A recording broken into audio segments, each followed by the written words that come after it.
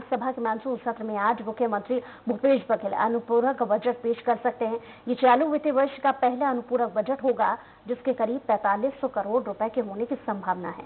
सत्र के अंतिम दिन शुक्रवार को इस पर चर्चा होगी और इससे पहले सदन में प्रश्नकाल के दौरान स्कूल शिक्षा और राजस्व मंत्री के विभागों से जुड़े सवाल जवाब होंगे। विपक्ष की तरफ़ से किसान कर्ज माफ़ी के साथ ही कोरबा जेल में बंदी को मौत का मुद्दा उठाया जा सकता है।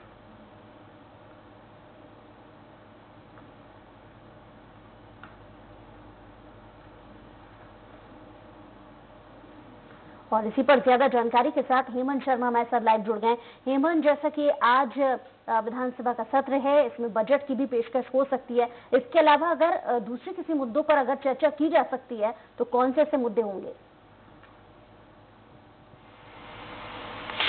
हाँ देखिए, सबसे पहले विधानसभा मानसून सत्र का जो दिन है, वो सिर्फ़ दो ही दिन बचे हैं और आज मानसून सत्र का चौथा दिन है। तो ऐसे में सरकार की कोशिश है कि अनुपूरक बजट आज पेश किया जाए। चालू वित्तीय वर्ष का जो अनुपूरक बजट है, जो लगभग 4500 करोड़ के आसपास होने के आसार जताए जा रहे हैं, वो मुख्यमंत्री भूपेश बघेल आज पेश करेंगे। आज पेश करने के बाद सरकार की कोशिश है, क्योंकि सिर्फ़ दो ही दिन बचे हैं और सरकार की कोशिश है कि शासकीय जो काम है वो पूर्ण हो। तो आज अनुपूरक बजट को पेश करने के बाद कल उसे पारित करवाया जाएगा। क्योंकि संख्या विधायकों की ज़्यादा है तो पारित होने में कोई दिक्कत नहीं आएगी। इसके अलावा अगर आज के सदन की मैं कार्रवाई की बात करूँ तो आज राजस्व मंत्री राजस्व स्कूल शिक्षा मंत्री के विभागों के सवाल जवाबों में चर्चा आज होगी। कई विधायकों ने उनके विभागों से संबंधित सवाल लगाए हैं। इसके अलावा भाजपा आज कोरबा के कटघोरा जेल ब्रेक मामले को लेकर सदन में हंगामा कर सकती है। कल इस मामले को लेकर नेता प्रतिपक्ष सौरभ विधायक सिंह सहित तमाम भाजपा के नेताओं ने प्रेस कॉन्फ्रेंस कर सीधे तौर पर हत्या का आरोप वहाँ के जेल प्रशासन पर लगाया था। तो ऐसे में ये कयास लगाए जा रहे हैं कि भाजपा आज पूरी तरीके से इस मामले में सरकार को घेरने की कोशिश करेगी।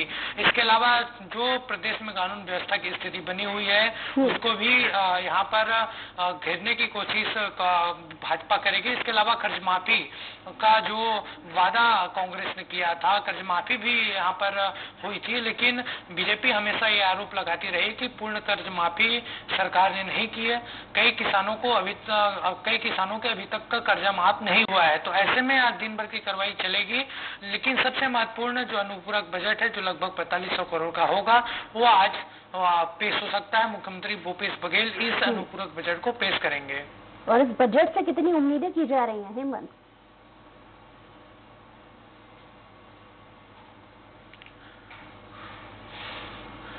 हाँ देखिए, अनुपूरक बजट आज पेश होगा। पेश होने के बाद ये स्पष्ट होगा कि क्या कुछ इसमें अनुपूरक बजट में प्रावधान किए गए हैं।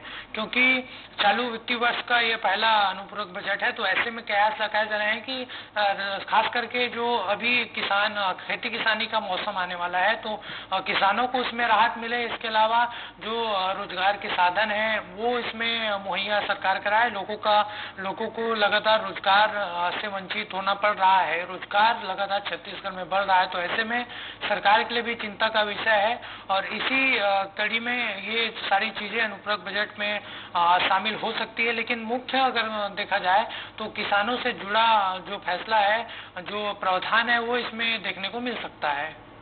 चलिए, बहुत शुक्रिया। तमाम जानकारी के लिए हेमंत